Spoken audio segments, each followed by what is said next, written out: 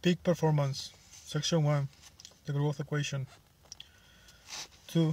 Rethinking stress. Chapter 2. Rethinking stress. In 1994, in 1934, in McGill University Biochemistry Department, a 28-year-old endocrinologist and assistant professor of medicine was attempting to discover a new hormone. His name was Hans Selye, and she had and he had every reason to believe he was making progress. When he injected rats with ovarian extract, hoping to elicit changes that could only be explained by an undiscovered sex hormone, the rats experienced a unique psychological response. The adrenal cortex became enlarged and their immune systems were activated. The more extract he injected, the greater the, the response. Selye was certainly certain that a new sex hormone was triggering the psychological changes. He was elated. At the age of 28, I already seemed to be on the track of a new hormone, he wrote in his journal. Unfortunately, for Selye, his enthusiasm, his enthusiasm wilted when he observed the same response after injecting rats with completely different fluids, fluids that had nothing to do with the reproductive system. Even a simple saline solution triggered the same response. His elation turned into heartbreak. All my dreams of discovering a new hormone were shattered.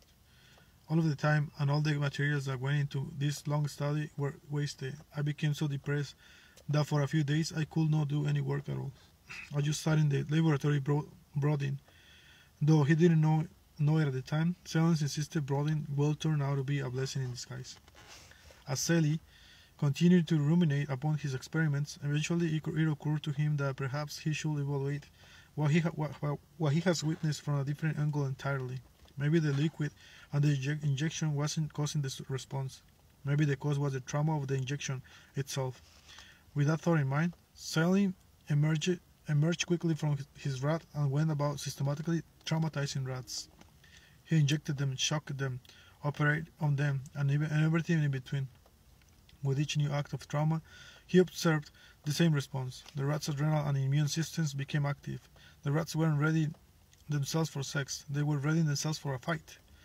While Selye's dreams of discovering a new hormone were dashed, his consolation prize was a big one. He unknowingly stumbled upon a concept that will become one of the foremost concerns in modern society stress. By doing something, anything really, that shocked or caused pain and discomfort in the rats, he could trigger an innate stress response that we know is shared by just about every living organism. The dose makes the, po- the poison. The dose makes the poison. Stress isn't just harmful, it can also serve as a stimulus for growth and adaptation. Stress isn't harmful, it can also serve as a stimulus for growth and adaptation. The effects of a stress depend almost entirely on the dose. The effects of the stress depends almost entirely on the dose. Selye and those who will build upon his work study stress in humans and observe the same phenomenon that they saw in rats, but they also noticed something else. Over time, humans and rats alike seem to adapt to each unique stressor, building up increased resistance. Certain stressors could even produce desirable effects, strengthening the, the specific part of the body that was under duress. They learned that stress isn't just harmful, it can also serve as a stimulus for growth and adaptation. We know now adaptive stress responses rooted in molecules called inflammatory proteins and hormone called cortisol. Inflammatory proteins and cortisol are activated by stress and serve as biological messengers telling the body we're not strong enough to withstand this attack. As a result, the body's marshals arm and ar- and an army of biochemical building blocks are directed to the area under stress, making the body stronger and more resilient. This is the body's incredible pre-programmed, way of better preparing itself to face future th- threats. As we mentioned earlier, strengthening a muscle such as your biceps is a wonderful example of how stress works in a positive way. Lifting a heavy weight to the point of exhaustion causes micro tears in the muscle tissue and triggers the stress, the stress response.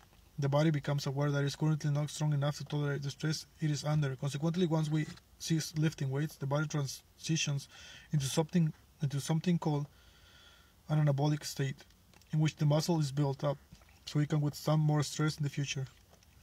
This same process unfolds after just about any physical effort, from lifting weights to running to rowing to a challenging CrossFit workout.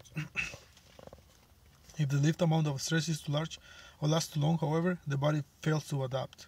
It actually does the opposite of growing stronger. It deteriorates. Selye called this the exhaustion, exhaustion stage. Today, many refer to the exhaustion stage as being under chronic stress.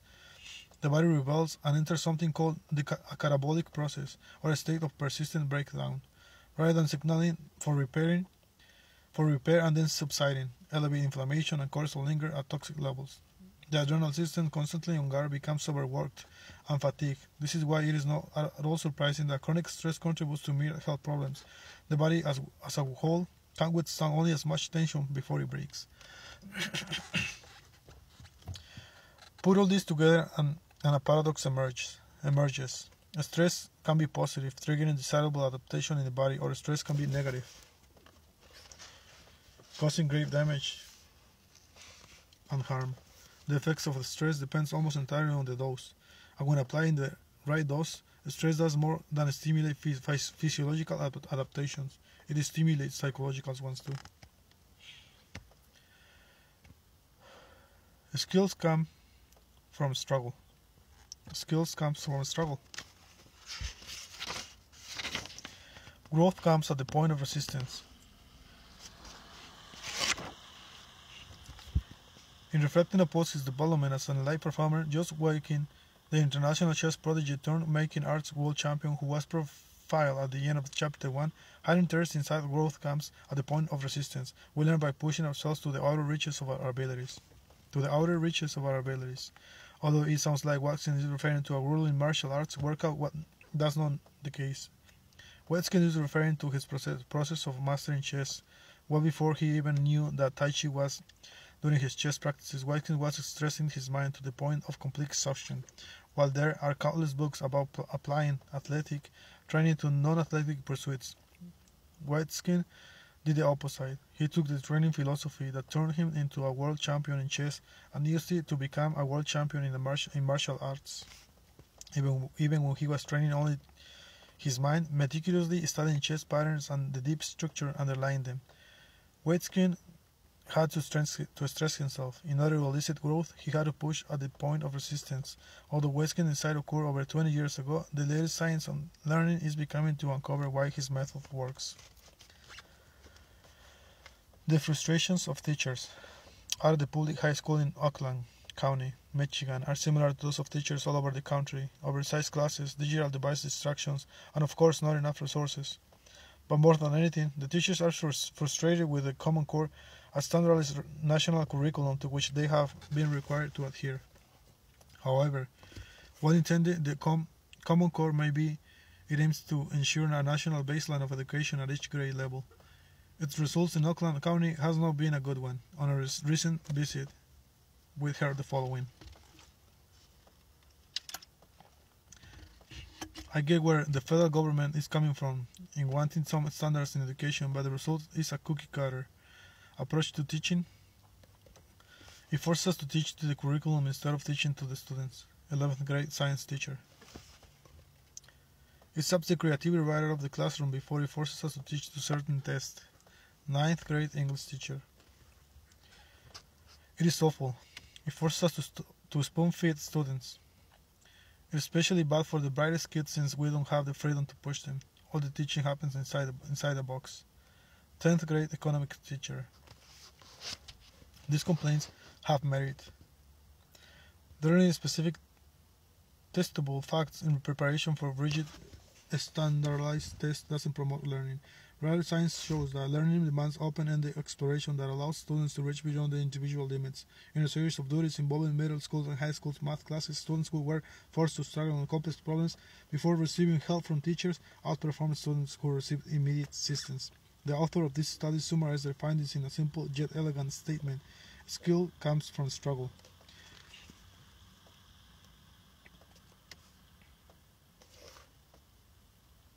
Another study, title, Why do only some events cause learning during human tutoring? Found the answer was straightforward because most tutors swoop in with, with answers and support far too early. In surveying different university levels physicists, physics tutoring systems, the researchers discovered that regardless of the tutorial explanation employed when the students were not at an in-pace, learning was uncommon. The most effective tutorial systems, on the other hand, all shared one thing. They delayed instruction until students reach the point of failure. Growth comes at the point of resistance, as skills comes from struggle. this same theme holds true in athletics, whether it is a runner trying to get faster, a baseball player working on a new move, or a big wave surfer attempting to master a challenging ride. The greatest gains often follows in immense struggle and, and discomfort. Nic Lamb is one of the best big wave surfers in the world. He rides waves that are, that are as tall as four-story buildings. as a four-story buildings. Though his performances on the water seem magical, they are grounded in the meticulous approach to training and a bulletproof mindset that he cultivates cultivates day in and day out. When Brad interviewed with Lamb for Outside Magazine, he was especially interested to learn how Lamb prepares himself to face the strongest swells. Lamb's secret lies in making himself unco- uncomfortable. During training, I seek out and try to ride waves that scare me, Lamb said. It is only when you step outside your comfort zone that you grow. Being uncomfortable is the path to personal development and growth. It is the opposite of complacency. Lamb embraces the challenge, seeing failure not as a setback but as an opportunity to grow. If I never push the envelope, the envelope, I never struggle. I will never get better, he said. If anything, the times that Lamb is frequently challenged or comes up short are often the most valuable. They uncover both physical and psychological weak spots and provide insights into areas he can improve. They fully engage both his brain, both his brain and his body. His brain and body into trying to figure out the problem. Idea rise, idea rise, they bar, the bar of what Lamb considers possible. What waits in students who learn successfully and Lamb practices something known as productive failure.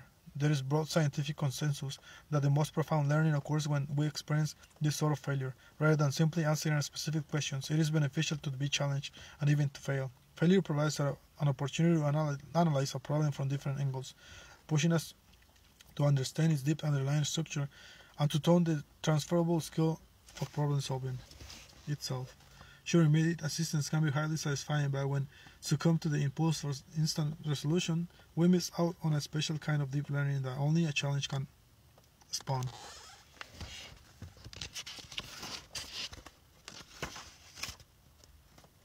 System 2 Learning Nobel Prize winning psychologist Daniel Kahneman, PhD, states that the human mind is divided into two types of thinking System 1 and System 2. System 1 operates automatically and quickly. It often drives by instinct and intuition. System 2, on the other hand, is more thoughtful, and analytical, and notices effortful mental activities. System 1 is out of default mode of thinking because it requires less energy when we are on, a, on an autopilot. System 1 is at work and on current mental mode model of the world dominates.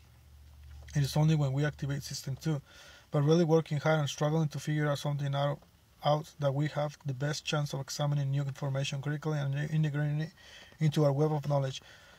True, learning requires System 2. To understand System 2, learning is such a challenge. We need to look deep inside of the brain. Our actual web of, knowledge consists of brain cells called neurons that are linked by axons, which functions like fine electrical wires in the brain. When we learn something new, electrical activity travels be- between neurons along the axons. At first, the connections are weak, both figuratively and literally, and we struggle with the new skill. Whether it's properly using, using grammar or using our dom- non-dominant hand on the basketball court, if we gain it, if we give it, if we give in, opting not to struggle, system one takes over. We default to the already strong connection, connections in our brain, and continue using adjectives instead of adverbs of dribbling with our right hand instead of our left. But if we endure the struggle and keep working at the new skill, the connections between neurons, neurons strengthen. This occurs partially thanks to the substance, substance called myelin. Myelin is like the brain version of insulation, wrapping around our axons. As we work more at something, more, more myelin is generated, and that enables electrical activity to travel more fluidly between neurons. In other, in other words, the connections in our brain strengthens over time. Our former struggles become second nature. If we stick at learning something for long enough, what was once a formidable system, two challenge becomes become a simple system one task. Just ask anyone who learned how to dribble with the, her non-dominant hand, or just ask yourself, what does three plus two equal? How about six times four? Think back, answering this question wasn't always easy, so easy. This is not to say that endless struggle promotes learning, but it does mean that the best learning occurs when we really have to work for it. Just like struggling to eke out one last repetition in the weight room is a great method for growing the body. Struggling the point of failure and only then receiving assistance is a great recipe for growing the mind if you want to consciously improve in whatever it is that you do. You've got to view stress as something positive, even desirable. Although too much or never ending stress can be dangerous. Be right amount, the right amount serves as a powerful stimulus for growth. Just like struggling, the eke out one last repetition in the weight room is a great method for growing the body. Struggling the, to the point of failure, on only, on only the receiving assistance is a great recipe for growing the mind. Performance practices. Stress stimulates growth. As the chess prodigy turned martial arts champion Josh Waitzkin says, growth comes at the point of resistance. Developing a new capability requires effort. Skills come from, from a struggle. When you struggle, System 2 is activated and through development is underway. Myelin is accumulating and neural connections are, are strengthening. Strengthening. Fail productively. Only seek out support after you've allowed yourself to struggle. Use manageable challenges.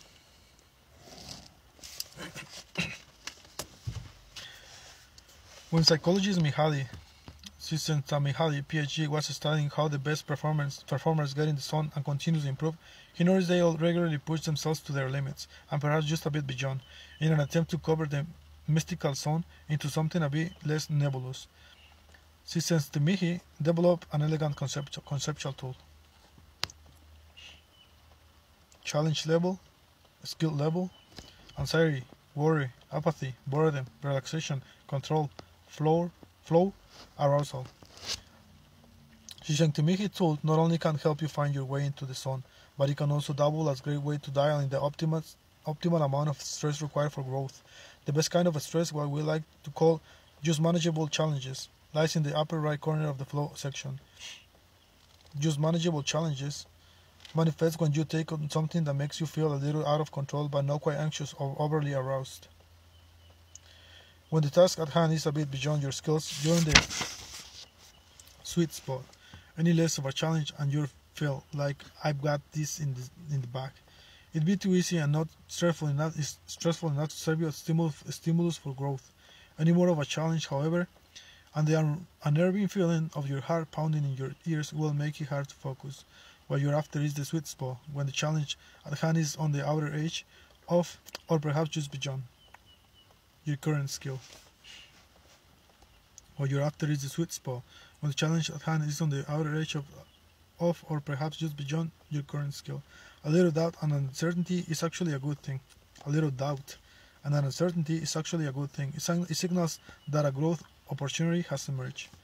The workout that Steve designs for his world-class distance runners, such as Sarah Hall, a prime example of just manageable challenges prior to finishing near the top of the field in the 2016 World Half Marathon Championships. Hall completed a 15-mile tempo run at a staggering 5 minute 30 seconds per mile pace, ever so slightly faster than they ever had before, than she ever had before. These workouts are designed to stretch limits, pushing runners beyond their current abilities. As a result, it is not uncommon for Steve's athletes to show up to practice a bit nervous. Some may even question whether they will be able to complete the workout, while armchair sports psychologists might say this kind of doubt and uncertainty is the negative. Steve has a different take. A little doubt and uncertainty is actually a good thing. It signals that a growth opportunity has emerged. The little voice inside your head saying, I can't possibly do this, is actually a sign that you're on the right track. It is your mind trying to pull you back the, to the familiar path that represents your comfort zone. Just, just manageable challenges are about venturing off an unknown path and going down a slightly more demanding one. this concept applies to just about anything, whether it is a workout, musical performance, or project at the office. That's the beauty of using Manhis diagram. You can plot any activity on it. When doing so, it is important to, to account for the many contextual factors that can make an activity more or less challenging at a given point in time. External fa- factors could, could include weather, size of the audience or stakes of the outcome, price money, deadlines, the people you're assigned to work with, if group, team project. Internal factors could include other stresses in your life at, at the time, your personal interest and motivation for the activity, your physical and mental health. Consider the activities you engage in on an everyday. Where do they fall on systematic, systematically Csikszentmihalyi diagram? Are you pursuing growth in a healthy, sustainable way? We are suggesting that you spend all of your time immersed in just manageable challenges. Doing so is probably not very practical, plus you still need to recover in between bouts of stress for the effort to be beneficial. What we are suggesting, however, is that for the capabilities you wish to grow, whether they be financial modeling, portrait painting, distance running, or anything in between, you should regularly seek out just manageable challenges, activities that take you out of your comfort zone and force you to push at the point of resistance for growth. In this chapter, we explore the benefits of stress, examine why skills come from struggle, and learn what types of activities fall into the category of good. Growth promoting stress, what we call just manageable challenges. We next we will will explore the mechanics of how you should go about working on them and explain why so much of the connect conventional wisdom on productive work misses the mark. Performance practices. Think of a skill, capability that you want to grow. Access your current ability to perform skills, capability. Actively seek out challenges that just barely exceed your ability. If you feel fully in control, make the next challenge a bit harder. If you feel anxious or so aroused that you can focus, dial things down a notch. Thank you.